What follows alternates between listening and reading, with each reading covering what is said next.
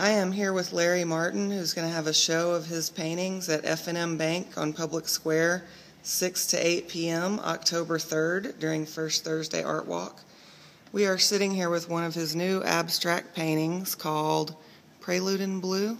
Prelude in Blue. Can you tell me a little bit, Larry, about the process that happens when you approach a canvas? Well, I think inspiration is probably the most difficult part of painting. And once you think of something to paint, then you have to let the painting lead you, because seldom do I end up with what I started out to paint.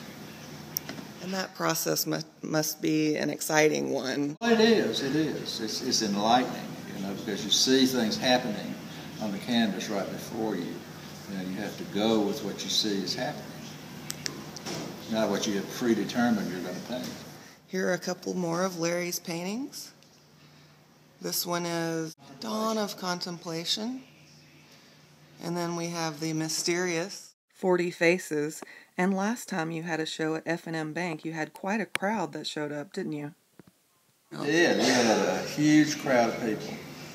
A very successful show, and I'm looking forward to a repeat performance next Thursday evening. Hope to see you all there. Thank you.